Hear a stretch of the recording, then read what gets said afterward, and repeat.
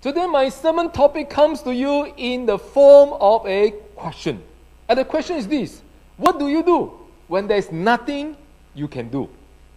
What do you do when there's just nothing that you can do? And with that, I'm talking about situations and times in our life when you feel stuck, when you're caught in a situation that you just can't solve it, a problem that you just can't solve, a tension that you just can't resolve, or a deadlock that you just cannot unlock. Maybe it's a chronic illness in your life, or maybe in the life of your family members. It is a chronic illness, meaning that hey, it's something ongoing. Doctors cannot cure it, although they can treat it with some medicine to maybe to, to relieve the pain, but, but they cannot cure it. So it's ongoing. It will not kill you. The sickness will not kill you, but you may have to take medicine daily for the rest of your life. And you feel like, oh, I'm just so, so sick of it. But then you're stuck with it. You cannot solve it. You cannot get rid of it. Or maybe it's a relationship issue. Maybe there's someone in your family that's not behaving the way that you want them to behave. Or maybe they're not treating you the way that you want them to treat you. And so it brought you lots of heartache, lots of pain, lots of hurts. You, you have put in so much hope into this relationship, but it yielded the fruit of hurts and pain instead. Or maybe it is a financial problem, especially during this time of the COVID 19 pandemic, and some people lost their job. But then maybe you're facing not just a temporary setback. Maybe you realize that, hey, it's something going to be quite long term. You, you just realize that, hey, you're not going to get back the kind of job, the kind of pay that you used to have. And so you're like stuck with it. Your dream for the future may have turned into a nightmare. And you feel quite dark, quite depressed, quite hopeless about what is ahead. You feel stuck. What do you do? What is your response? You know, for some people, they respond by running away. They quit. They give in. They give up. Maybe they stop the relationship, they kill the marriage, they destroy the family. Or maybe they try to drown themselves in drinks, in drugs. And of course, you know, that created even more problem, isn't it? Or maybe they try to numb themselves. They bury themselves in busyness. They become workaholic. Oh, just work and work so that they don't have to face the problem. They don't have to face the reality. They try to run away from it.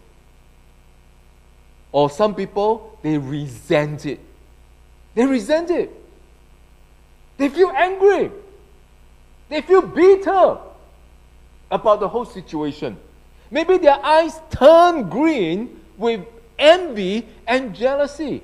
You know, when you are stuck with a problem, then you begin to look around, you begin to compare. Especially you look at social media. Don't do that. But then you look at it. You see, wow, no, the things that people posted, the photo, wow, like their life is so perfect, so successful, so happy. You know, look at the places that they are going to, the holiday, the staycation, the, the food, wow, the things they buy, like, oh, their life is so wonderful. And of course, you know that it's not true. People post those happy moments, but the things that they are going through, the problem that they face, they don't post it. Some people do, but all I'm saying is that sometimes you begin to look around and you get angry, you get envy, envious, you get jealous, and you your eyes turn green, and then your eyes turn red also turn red with anger, turn red with bitterness, turn, turn red because you say, oh, this is not fair. How come it happens to me? You begin to blame others. You resented it. And so you blame others. Oh, it's their fault. Or you blame the society. Or you may even blame God.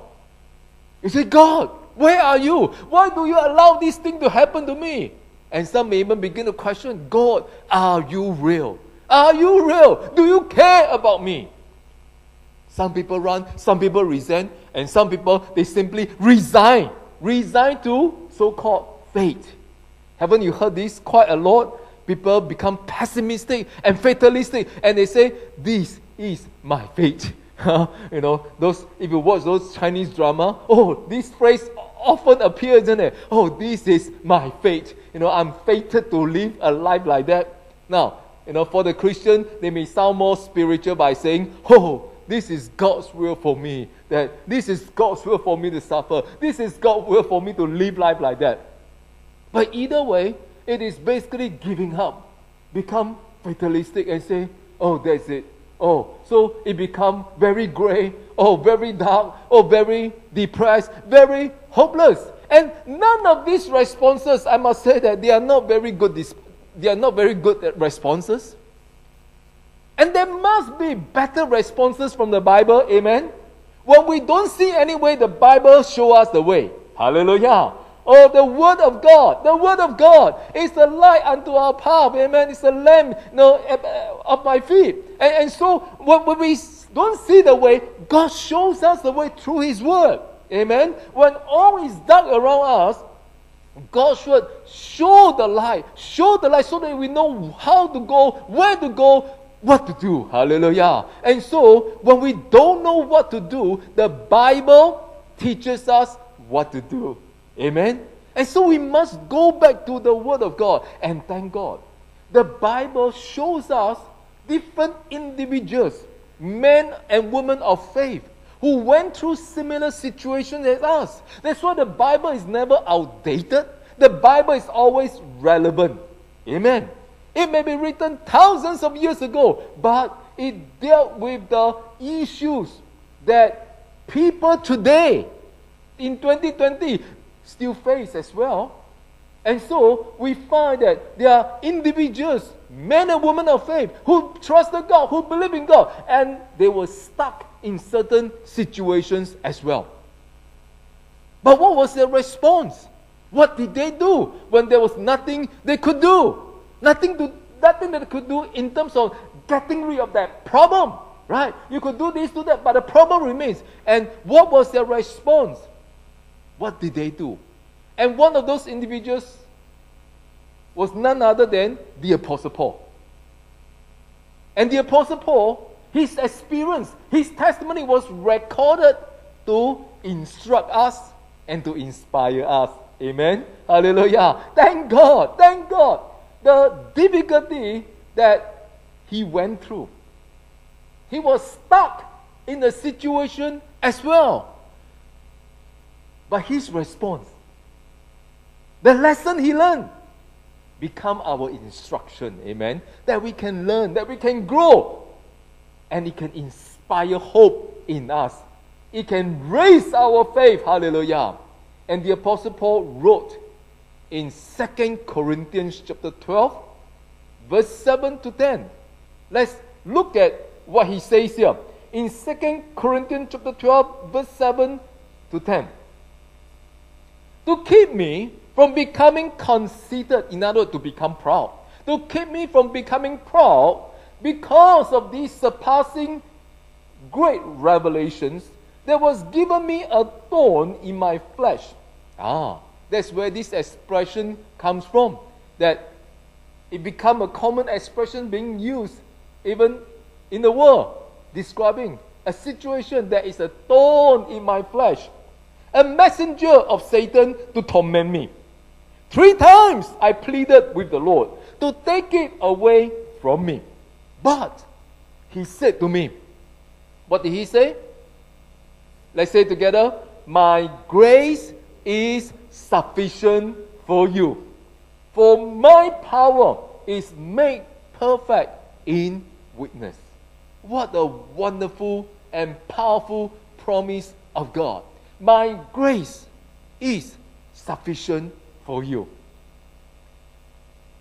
And so Paul's response, he said, Therefore, I will boast all the more gladly about my weaknesses, so that Christ's power may rest on me.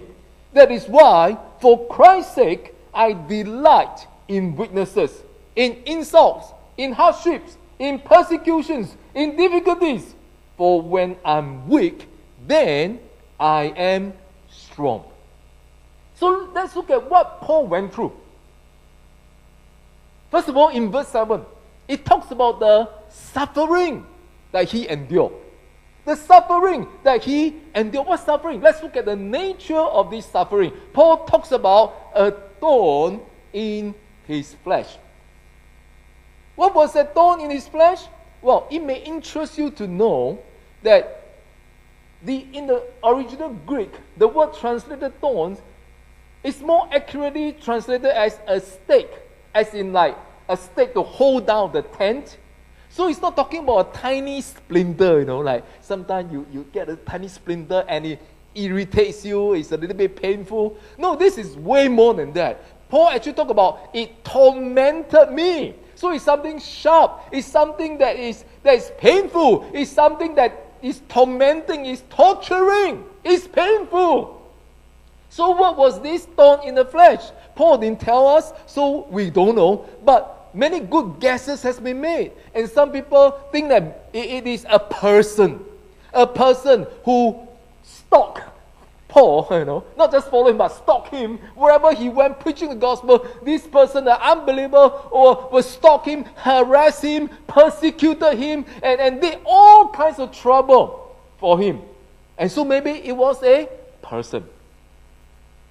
And there are others who think that maybe it's a physical illness, a sickness.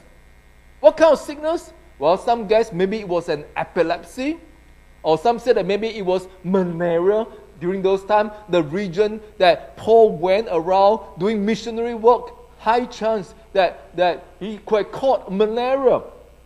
And some mention that, hey, in the book of Galatians, Paul talked about his eyesight problem. You know, he, he had eyesight problem. That's why, you know, he write in such a large letter because he couldn't see. You know, oh, maybe it was his eyesight problem.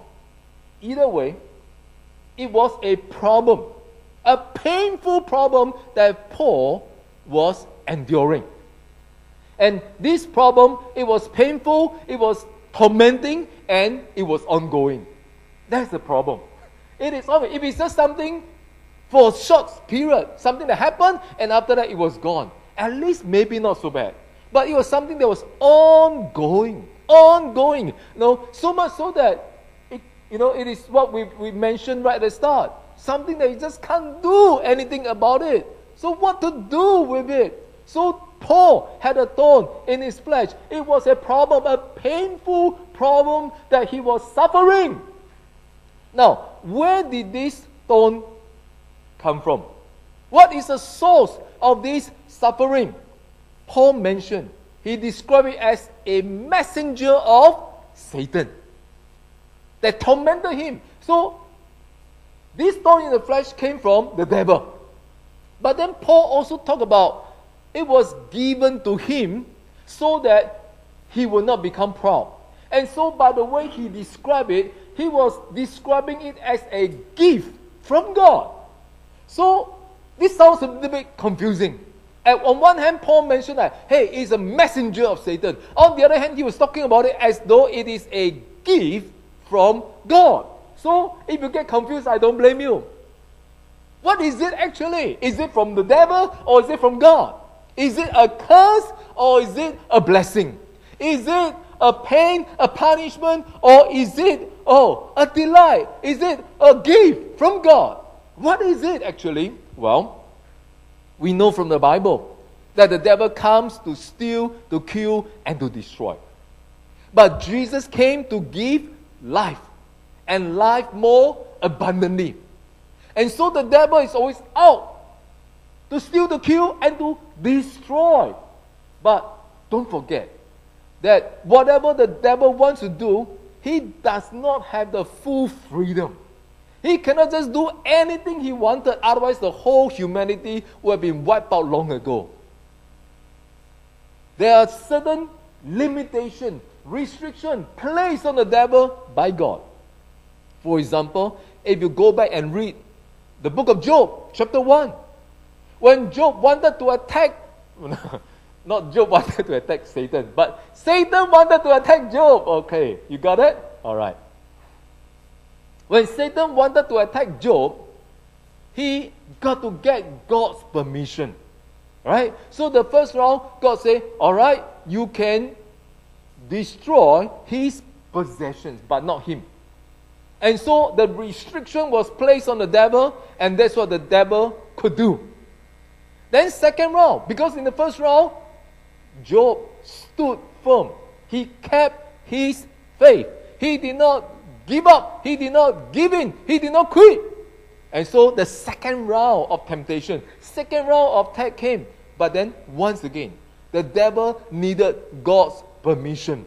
And God said that, all right, you can touch him, but you cannot kill him. So Job was afflicted with sickness, skin problem, and so forth. But the devil could not kill him. And thank God, Job triumphed. Hallelujah. Amen. His faith in God triumphed. Now, the point is this that the devil wants to steal, to kill, to destroy, but only with God's permission. And when God allows it, God knew what he was doing. Amen. Aren't you glad God knows you and he knows what he is doing? He knows you. He knows how much you can take. He will not allow temptation to come to you that is beyond you. And when temptation comes, he will open a way. Just like a father knows how much the young child can take, can handle.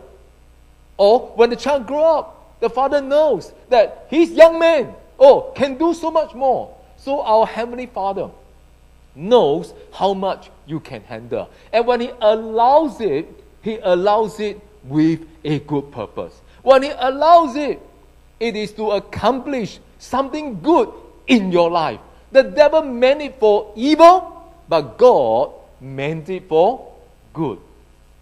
God meant it for good. And God can turn it around for good. The devil wants to destroy you, but God will turn it around for your salvation. Oh, the devil wants to tear you down, but God will turn it around so that it will build you up. So that you become a better person, so that you become a better Christian, so that you become a triumphant, a victorious Christian in the Lord. And so, although this comes from the devil, but it is within the permission of God. God allows it for a good purpose. That's why Paul can say that, hey, it is a gift from God. And therefore, it no longer becomes just something that he endure, like, oh, grit his teeth and endure. It becomes something that he embraced. He embraced it as a gift from God. He embraced it as something that will work out something good within him. And with that change in his attitude, with a change in his understanding, he was able to triumph, overcome, conquer that suffering, conquer that thorn in the flesh. So, what is the purpose?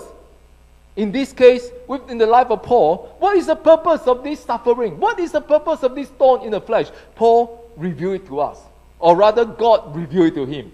And he let us know. Twice it was mentioned that the thorn was there so that he will not become conceited, so that he will not become proud. Now, you must go back and refer to 2 Corinthians chapter 12, verse 1 to 6. We read 7 to 10. If you go back and read verses 1 to 6, Paul talks about the great revelation that he experienced that he encountered. He was taken to paradise, he was taken to heaven. Now, you go back and read, you will discover that Paul talks about it in the third person. He talked about a man, no, about 14 years ago, a man was caught up to the paradise. All Bible scholars agree that Paul was talking about his own experience. But he has learned the lesson of humility. It's not something that he wanted to boast about. So instead of talking about, hey, you know, I got this great revelation today, today, you know, someone who got such a revelation would have gone around the whole world, isn't it? Declaring, hey, I saw, you know, this and that and that. But Paul talked about as, as though it was someone else. So there was this man who encountered such great revelation, whether bodily or out of the body, um, I don't know. Because it was so, it was so real. Paul wasn't even sure was he taken up bodily or was it his spirit went up to heaven? Nevertheless, he went to paradise, he went into the presence of God, and he saw things, he heard things that God did not permit him to share. But the point is this because of that great revelation, that's why in verse 7 he talks about God allowed this thorn to take place so that he will not become proud. He will not become prideful because of this. He will not become something that he boasts about. So there was a purpose in Paul's life in encountering that suffering. And this is the purpose that all of us must learn as well. The purpose of keeping us humble and dependent on God. We need it. Not because God is, is, is so high and mighty, He want to press us on. No, no, no. But this is something that we need. We need to learn humility and dependence on God as well. Because this is what we need. Some people may say that, hey, but I'm not prideful in terms of my personality. I'm a very humble guy. Watch it when you say it like that. you know, oh, I'm so humble. Well, that speaks of pride to begin with. But also, you see, pride is not just a personality or character issue. Pride is basically self sufficiency. Pride is basically living life independent of God. Pride is living life independent of God. When we live life on our own, thinking that, hey, I can do it, I know what to do, I, I can do it, I can solve it. When there is no dependence on God, we are becoming prideful. And watch it because that pride will bring downfall. That pride will destroy you. We need God. Simple as that. We need God. We are not self sufficient. We need God. We depend on Him. And so, talking about the purpose of suffering, we tend to ask some wrong question, wrong as in in the wrong direction. One question that we ask is, What have I done wrong? What have I done wrong to deserve this suffering? What have I done wrong to deserve this thorn in the flesh? Well, maybe we did do something wrong. If you realize that you've done something wrong, you committed a sin, what do you do? Repent. Make it right. Correct the mistake, of course. But the point that I want to bring to attention is this that suffering, thorn in the flesh, may not come because of something you have done. In Paul's case, it wasn't something wrong that he has committed. And so, likewise, very often, suffering may come simply because we live in a fallen world. We live in an imperfect world. We grow old. Our family members, they grow old. And as we grow old, oh, we got all kinds of sickness, all kinds of pain. You know, our mental faculty begin to degenerate. And so in the midst of all this, it can bring a lot of pain, heartaches. So it's not necessary that you have done something wrong. But like I said, if you realize you've done something wrong, make it right. Correct it, repent. But then don't go into self condemnation. Because if you keep condemning yourself, say, What have I done wrong? What have I done wrong? Then you will never overcome it. Because you'll be so depressed, so discouraged, and you'll be you'll be you know chasing around the wrong path, wrong direction. You can't solve it because you're trying to dig up what have I done wrong? And you will not find the answer. A second question that people tend to ask is, well, is it because I don't have enough faith? Well, when you're faced with a situation, there'll be some sincere, well meaning people will come around and tell you that, hey, if you got, you know, enough faith, you won't get this problem. If Paul knows my teaching, he won't have the thorn in the flesh. There are people who actually say that, you know. Oh, if you got enough faith, you won't get sick. You got enough faith, you won't have this problem. No, this is not true. I don't believe in that teaching. Well, of course we need faith. Our faith must grow. But the point is this having great faith doesn't mean that everything will be smooth sailing. Paul, did he have great faith? Come on, you know. I think he was the greatest Christian, isn't it? I mean, he wrote half of the New Testament, right? Among the believers of Jesus, he was the most famous in a good way. Right? He was a great apostle, Paul, mightily used as a missionary, reaching out to the Gentile world. He was a man of faith. And talk about revelation. Come on, he has so much revelation, vision, caught up into heaven. He was a man of great faith. And yet, he had a thorn in the flesh. And if you go back and read chapter 11, he described the hardship that he went through. How many times he shipwrecked? How many times he was beaten? He was he was he was um, uh, 39 lashes. Five times he was stoned. You know, uh, in, they wanted to kill him. He was beaten with rod. He was in prison. I mean, talk about all this hardship, and he was a man of faith. So if you think that, hey, if you have faith, oh, everything smooth sailing, it's just simply not true. On the other hand, I'm not saying that, oh, we must all go through all this suffering. As I say, God knows how much you can take. And when God allows it, He allows it with a great purpose. And when He allows it, He gives you a great promise, a great promise as well. We'll discover what that promise is. But right now, there is a purpose. The thorn is not something that is meaningless. Because God can use something bad and turn it for good. God can use something evil and accomplish a wonderful, good purpose in your life. So it's not because of a lack of faith that Paul encountered problem. And I must point this out to you because so many people get discouraged. And they think, oh, maybe my faith not strong now. Oh, my faith not strong now. Oh, then how? Then how? Oh, I'm not like so and so. My faith is not strong. And, and so they, again, they go down the trail of despondency, the trail of discouragement. But the issue is not because of a lack of faith. The issue is understanding God, trusting Him, and then, hey, even faith so small like a mustard seed, it can move mountain. Hallelujah. So the issue is whether you know God, whether you trust God, whether you walk with God.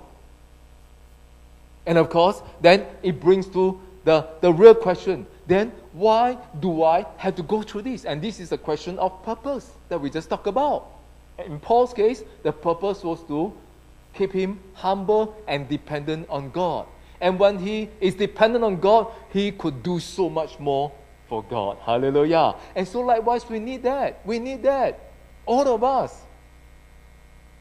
I see you know, COVID 19 as a thorn in the flesh of all humanity. Don't you, don't you think so? Yeah, it's a thorn in the flesh. Of course, sadly, many people have died. But in terms of fatality rate, it's not that, that, that high as compared to some sickness. Okay? So majority survive. But then it's a thorn in the flesh.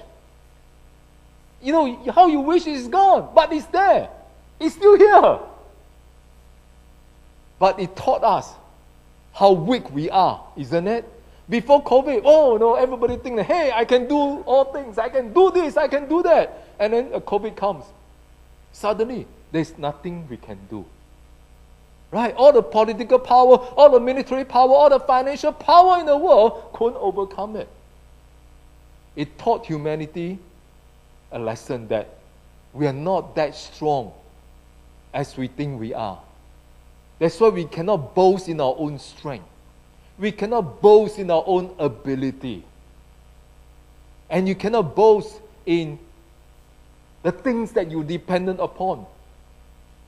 The other night, I went to visit one of our member, and, and so we just chit chatting, and he was telling t- telling me that you know one of his colleagues because they, they work in the airline industry, providing support, and so he was telling me that the colleague was telling him that before that the colleague actually said that hey we're in the airline industry. This is the most secure the most stable industry. Nothing will happen. But then covid comes airplanes are not flying, and suddenly, no job. And so the point is that, hey, we, we, we thought we can depend on this. We thought this is so sure, this is so secure. Then suddenly we realize that no, they are not secure. There's nothing secure, stable about the things around us. We cannot depend on them, we cannot depend on ourselves. We need to come back to God in humility. Independence say, God, I need you. And that's what the thorn in the flesh did for Paul. The thorn in the flesh taught Paul the lesson of dependence on God. Now, in our case, we need to learn this lesson. Or maybe there's other areas as well. Without the thorn in the flesh, we may think that we are so good, we are so great. We may think that we are such a patient person. We may think that we have so much love.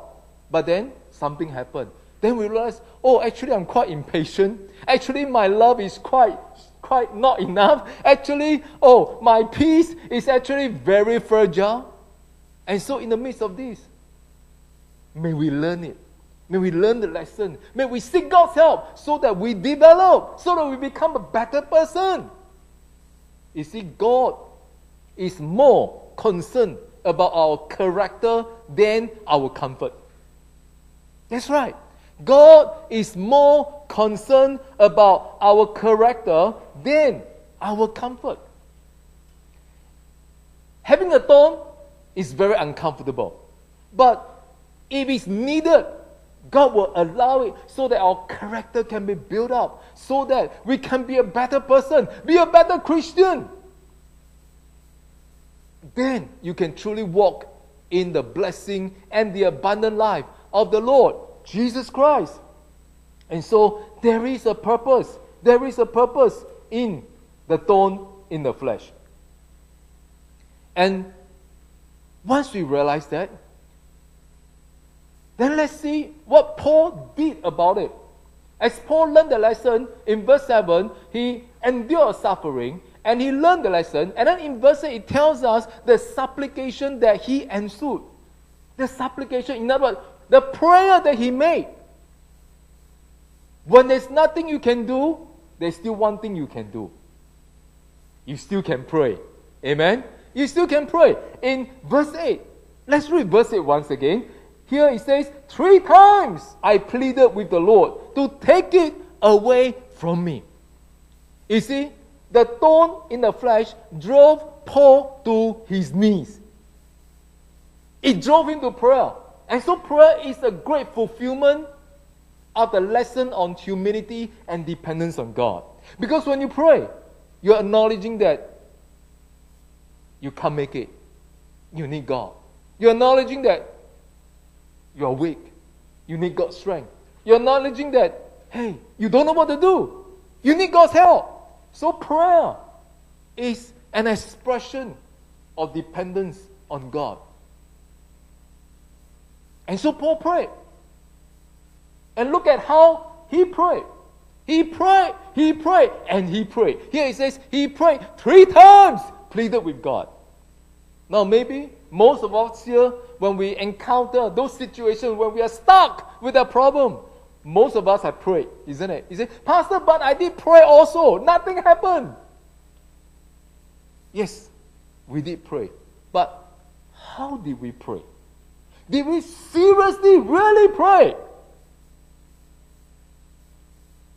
Paul prayed. Not just one time, but three times. He cried to God. He pleaded with God. And here is a reminder of the power of prayer. When there's nothing we can do, we can still pray. Amen? Prayer is the answer. Hallelujah. When we don't have the answer, prayer is the answer.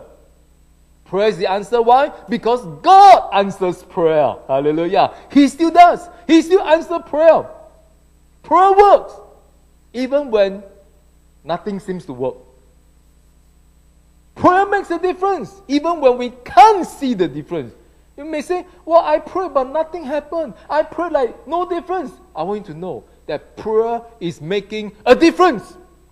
Prayer works because God is at work when you pray. Not like the song that we sang in past week. Even when I don't see it, God is moving. Even when I don't feel it, God is moving. He never stopped working. Hallelujah. Indeed. But we must pray. We must come to Him. We must cry out to Him. We pray. He moves. He works. Even when we don't see it. Even when we don't feel it. But God is at work. You can trust Him. He knows what He's doing, and He knows you. And He's working on something good on your behalf. And look at the way Paul prayed. He prayed specifically, first of all. Very specific. He didn't just say, Oh God, please bless me. Now, we often pray that prayer. I mean, it's good to ask God to bless you, but we can be more specific. In this case, Paul, he prayed, God, please remove the thorn from me. Specifically, remove this problem, remove this issue. He was specific. And we need to learn to pray in that manner as well. Be specific. Tell God what you needed, what you wanted. Secondly, he prayed earnestly. Here it says, he pleaded with God. Hallelujah. In other words, he poured his heart into his prayer. He poured his passion, his emotion into his prayer. That's why I asked this question before. Can your prayer move your own heart? If it cannot even move your own heart, can it move the heart of God? No, I'm not talking that, I'm not saying that, oh, with our cry, with our tears, with our emotion, that, that we, we, we move God because of that. But the point is that, that when we pray, we pray earnestly, with all our heart, with all our passion, with all emotion. That's what the Bible teaches us to pray. Paul pleaded with God. And then Paul prayed persistently. Persistently. Here it says, three times I pleaded with God. Now, I want you to know that the three times, obviously, it is not like, oh, okay, morning I pray one time, oh, one time ready, okay. Lunchtime, oh, pray another time, two times. No, I believe the way Paul prayed, the way he pleaded with God, more accurately, he's talking about three seasons of prayer. That he come before God. Oh, no, maybe the first season, he fasted and prayed, maybe for the entire week. But then he didn't get the answer from God. God did not answer him, God did not tell him. And so he went into a second season of prayer. Maybe this time he prayed and fasted for 40 days. Who knows? But again, he didn't get the answer. And then what did he do? He, he once again, he entered into a third season of prayer. And this time, God spoke to him. God revealed. He heard from God this time. He got his answer and he rested. He rested from his struggle in this suffering. And so this is how the Apostle Paul prayed. And this is what we can learn to pray. The supplication that ensued. The prayer that we make before God. And because of his prayer, he got the answer finally. And that brings us to verse 9 and 10, which tells us the sufficiency that he embraced. Hallelujah. The sufficiency that was given to him in response to his supplication regarding his suffering. Let's look at verse 9 and 10. In verse 9, the famous verse, but he said to me, My grace is sufficient for you, for my power is made perfect in weakness. So Paul's prayer was answered. Thank God but not in the way that he expected. And isn't it so true? We pray and you thought that, oh, God didn't answer prayer, but maybe he did. Except that he answered in a way that is not according to how you wanted it, not according to how you expected him to do. You see, God always answers prayer. Can we say a good amen to that? It's true. God always answers prayer. But the answer can come in one of these forms. He can answer, yes. Wow, this is the one that we like. Yes. So I got it. Or he may say, no. For good reason. He rejected your request. Maybe you prayed wrongly. You say, God, let me strike 4D. No, no. I'm sure you know that you don't do that. But then you pray something amiss and, and God say, no, Cannot. Or maybe he may answer you, wait. Wait doesn't mean no. Wait simply means wait. That means I will give it to you, but not right now.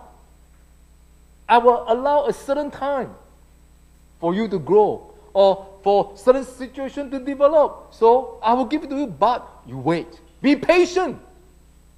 So yes, no, wait. But then there is a fourth possibility, which is yes, I'll give something to you, but not according to what you wanted. It's something that is different. Different from what you wanted. Oh, this is the one that Paul got. He prayed for the thorn to be removed. God didn't remove the thorn, but God gave him something else. God gave him all sufficient grace. God gave him the answer, but in a different form, in a different manner. Instead of removing the thorn, God gave him all sufficient grace to sustain him to strengthen him so that he can stand up under the thorn, so that he can endure the pain, so that he can overcome the pain. You see, to remove the burden from our shoulder, there are two ways. So imagine I'm carrying this heavy load on my shoulder. There are two ways to lighten the load. One way is to decrease the weight of the burden. Right? Take away half of the load, maybe. Or remove it altogether to decrease the weight of the burden. That's one way. A second way is to increase the strength of my shoulder. Once the strength of my shoulder is increased, now that load is no longer a burden. It's no longer heavy to me because now I'm so strong. It becomes something light, it becomes something easy. So there are two ways. And when God says, I give you grace, I give you strength, this is the second way. Instead of removing the load, God says, I increase your strength. And this is the better way most of the time. You know why? Because if God simply remove the load, reduce the weight, or remove the stone, next time, another load will come. Another thorn will appear. And then you are still weak and still, oh God, please remove it. But in this case, now that the shoulder has been strengthened, now that the heart has been strengthened with grace, next time, another thorn comes around another load comes around, hey, you're no longer the same you. You are stronger you now. Hallelujah. You have greater strength. You have greater faith. You are greater prepared to overcome new situation. And that's why God answered differently at times. Because He wanted us to be strengthened. He wanted us to mature. He wanted us to grow. So that we learn how to fish. And not just given a fish. Or put it another way, you know, God saves us two ways. One, He saves us from trouble, or He saves us in the midst of trouble. He can save us from trouble, meaning He prevent the trouble from happening altogether. Second way, He saves us in the midst of the trouble. In other words, He allows us to go through it, but He protected us, He walked with us, He gives us strength, so that in the midst of the trouble, we emerge victorious. Classic example Daniel in the lion's den. God could save him from the lion's den altogether.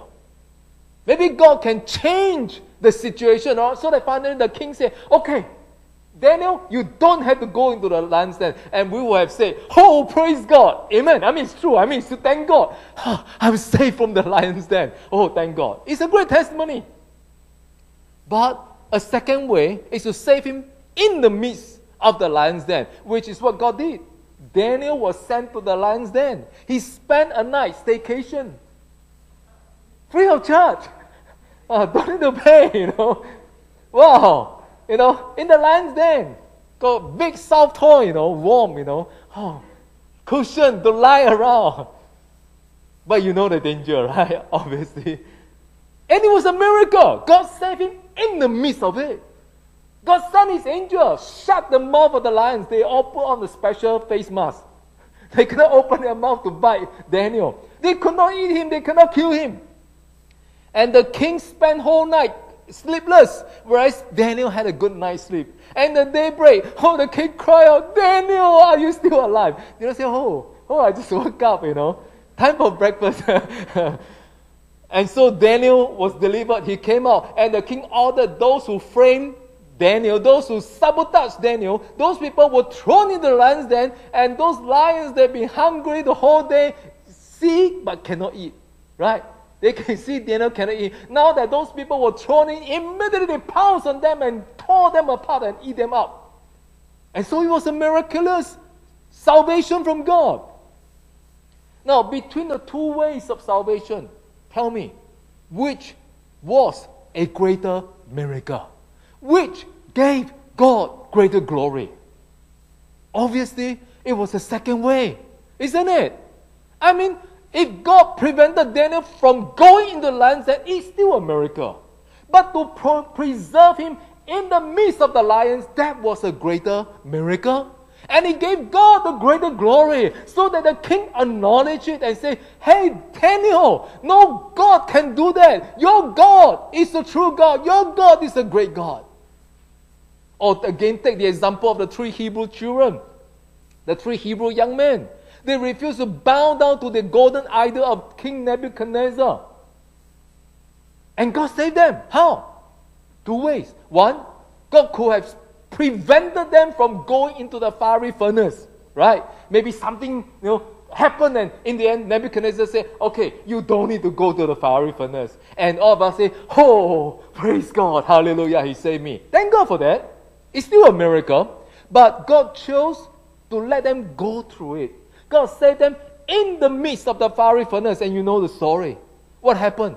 They went in. The furnace was heated up seven times, so much so that those, those guards who, who were in charge of throwing Daniel, uh, not Daniel, the three Hebrew young men to the fiery furnace, those guards got killed.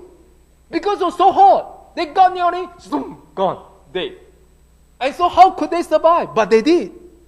Indeed, the king actually saw. I thought I, all the three men to be thrown. How come I see four? Who's the one who sneak in, you know? Never do the safe entry. Never do the social distancing. And so there was the fourth man. Who was he? It was the Lord who manifested himself, walked among his people. And so the king said, Oh, please come out. please come out. And they came out. They came out. And they were unharmed.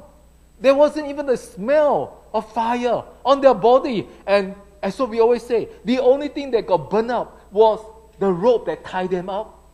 It was gone. They were free. Hallelujah. God did a miracle. And between the first way and the second way, once again, which was a greater miracle? Which gave God the greater glory? Obviously, it was the second way, having to go through it, and yet God was with them. God protected them. It was a greater miracle, and it gave God the greater glory. Hallelujah. And so, and so, when we pray, God may not give us according to how we wanted it. We say, please remove this situation. Get rid of this guy, or, or get rid of this problem, get rid of this sickness. Yes, God does do that. He does. There are times when God heals instantaneously. Thank God. So pray. That's what, that's what Paul did. He prayed. He prayed specifically, remove the thorn. And there are times when God does that as well. But there are also times when God chooses a second way. And when He chooses a second way, that's what I want to tell you. My brother, my sister, don't be discouraged. Don't doubt. When God chooses the second way, He knows what He is doing. Amen. He knows you. He loves you. He cares for you. And when He chooses the second way, for sure you are going to experience a greater miracle. You're going to give God a greater glory. Hallelujah. And your life is going to be better transformed. Hallelujah. You will grow to be a better person, a stronger person in the Lord Jesus Christ and you're better equipped to face other storm, to face other, other thorns. Haven't you noticed that? Like, because you never grow and learn, then similar situation keep happening. It's like, how come this always happen to me? Why? Because you are still weak. You never learn the lesson. And so, every time you depended on God to remove the problem, thank God you depended on God. But the point is this that God wanted you to grow as well.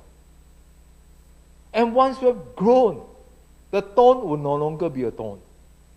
His grace is sufficient. There'll be sufficient grace, sufficient power, sufficient strength for you to overcome it. So much so that, hey, the thorn will no longer cause pain, will no longer be an issue. And as you move on in the Lord, guess what? It will even be removed. The thorn will even be removed. But before that, learn to trust God.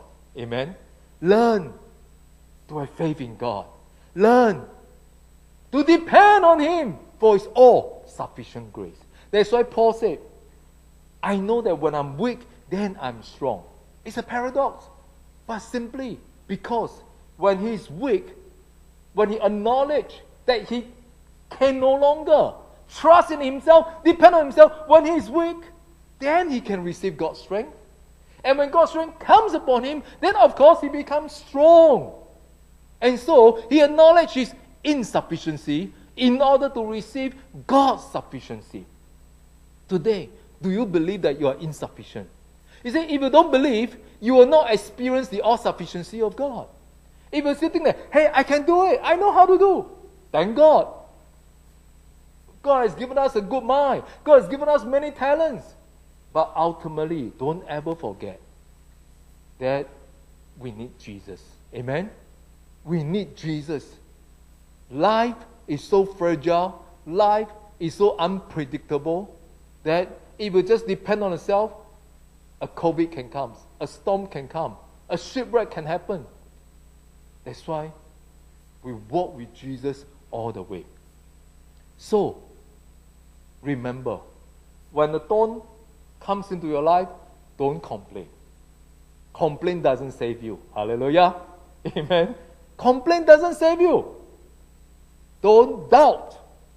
Doubting will destroy you. Don't complain, don't doubt, and don't be discouraged. What do you do instead? You still can pray. Amen. You still can pray. You still can hear from God. God will speak. God will give the answer. God will give the revelation. And when you pray, God will give the strength. God will give the grace. And God will show you His purpose and His promise. And the promise is His all sufficient grace is made available to you. Hallelujah. And so we can trust in Him. Amen. He will not let you down. Hallelujah. Amen. Praise God. And so, come to Jesus. Let your heart be strengthened by His amazing grace. Hallelujah. And you'll discover that it's more than sufficient. It's more than sufficient. My grace is sufficient for you. Isn't it wonderful that that grace is personalized? God say, My grace, His, His grace is sufficient for who? For you. Amen. It's not a generic one, you know. Okay, ah, uh, just one type. You know, all, all of you use the type, ah. Uh, you just fit into it. No, no. It's tailor made. God say, My grace is sufficient for you. Personalized for you. And it's a powerful grace. Hallelujah. He does about, hey, my power is made perfect in your weakness. It's personalized, it's powerful, and it's plentiful. It's more than enough. Hallelujah. You don't worry that, hey, it will run dry. Like the fish doesn't have to worry that, hey, I will drink up the water in the ocean. Fear not. Open your mouth wide and drink. There's enough in the ocean. Amen. Or the man who went up to Bukit Timah Hill and said, Oh, I've been breathing so much air. What happened if I breathe up all the oxygen in, the, in Singapore? How? Huh? Ah? Fear not! keep breathing! Keep breathing! There's still enough oxygen. Hallelujah.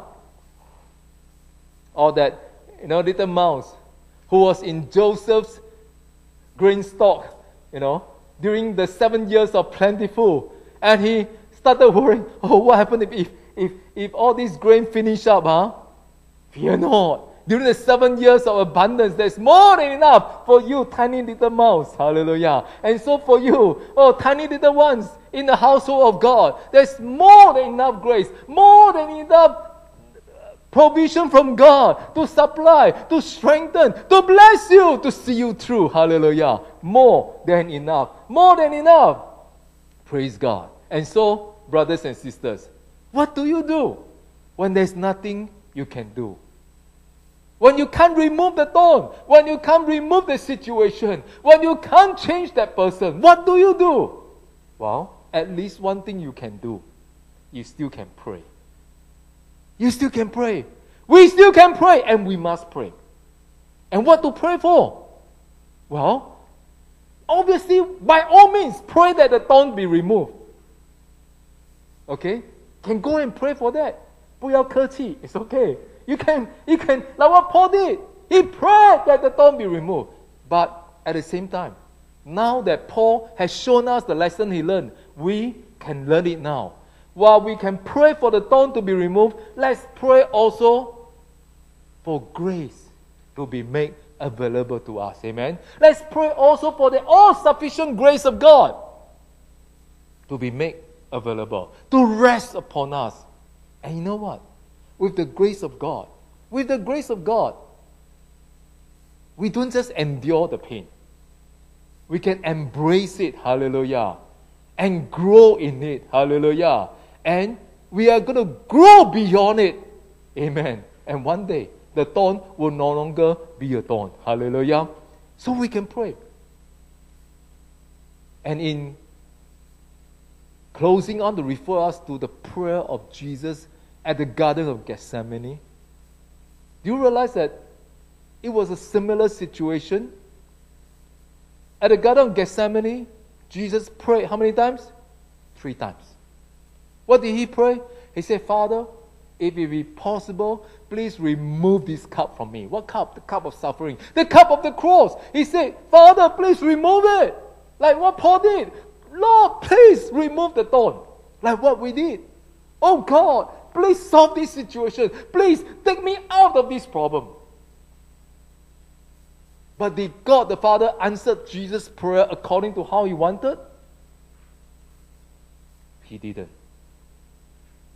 Nevertheless, notice what Jesus prayed. He said, Nevertheless, yet not as I will, but as you will. In other words, he was submissive to the will of the Father.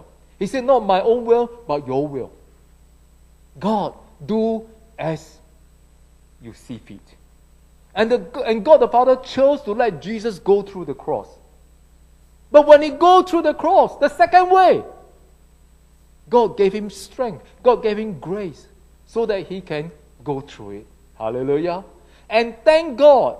We must all thank God that God the Father did not answer Jesus' prayer according to the first way. The first way is, okay, remove the cup.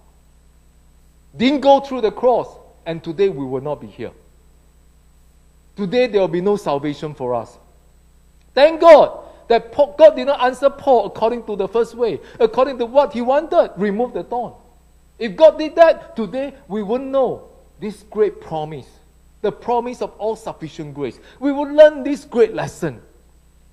And so, as hard as it may seem to be, let me say this that if God chose to answer us according to the second way, if God say no to our first request, we must thank God too. We must thank God because we can have faith, we can trust God that there is a great purpose that's for our good. At the same time, there is a wonderful promise of His all sufficient grace.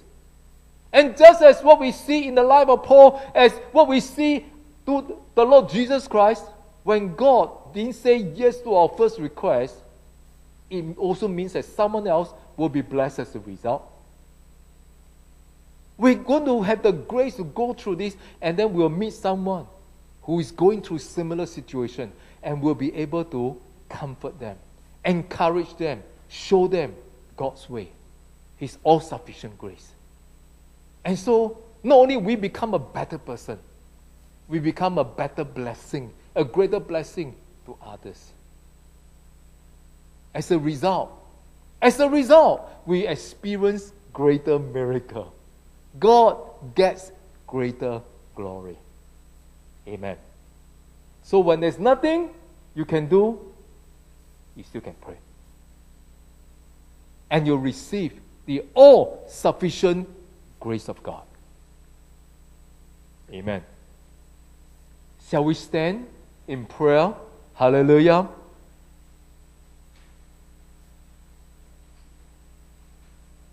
Thank you, Jesus. Hallelujah. Thank you, Lord. Shakaran doruboko shakaran diriyandaraba shanda. Lord Jesus, we come before you in prayer. Lord, this precious truth that we learned today, it is not an easy truth. It is hard truth because on our own, we acknowledge that we all love to receive the first way, to get the problem removed, to, to see the thorn disappear. And we thank God that you knows us and you know what is best for us and you know what you are doing. And so, although there may be time when we have to go through it, but one thing for sure, as we learn today, we're going to cry out to you. We're going to pray specifically. We're going to pray earnestly. Pray persistently. Pray until something happens. Pray until you answer us, oh God, with your personal revelation. And Lord, we know that we shall receive all sufficient grace. Oh, so that we are strengthened. Oh, so that we can overcome. So that we can stand up in the midst of the pain, of the suffering, of the situation. And so, Lord, we trust you. We submit to you. We ask of you, give us that grace. Give us that grace so that in whatever situation, we will discover that your grace is sufficient to see us through. Your grace is sufficient to strengthen us, to transform us for your glory. And so, we pray for each other. Oh, we encourage each other. Lord, you see the different things that, oh, my brother, my sisters, they are going through. Oh, the pain and the heartache, the weariness that they are facing right now when they feel so weak. But I pray, oh God, Lord, that you encourage them, encourage them, encourage them. Let your word comes in, bring them hope, bring them faith, bring them love so that they know that you are still with them. You are walking with them. And Lord, they will not fail. Because you are with them. Hallelujah. You will see them through. And so I bless my brother, I bless my sister with your grace, with your strength, oh God. Hallelujah. And God, we know that together we shall walk victoriously with you in our life, in our midst. And Lord, we pray also for our family members, for our friends who are yet to know you. We pray for those who will receive this message through the video, through the internet. We pray for those who are yet to know you. That together we'll realize that how much we needed Jesus Christ. How much we needed God's salvation. That deep from deep within our heart we'll cry to you say, God, I'm a sinner. Please forgive me of my sin. Please change my life because only you can forgive. Only you can change my life. And with that cry, indeed, Jesus, you come into our life. Oh, you save us and you transform us in Jesus' name. And so, Lord, together, together, we pray oh God, that we will come through the valley of the shadow of death. And we will enter into the abundant feast that you have prepared in store for us. So I speak blessing to your people. I speak blessing to your church. And we give you all the glory. In Jesus' name I pray. Amen. Amen. Amen. Hallelujah. As we close the service, why don't we turn around, greet one another, bless one another, and tell them God's grace is sufficient for you.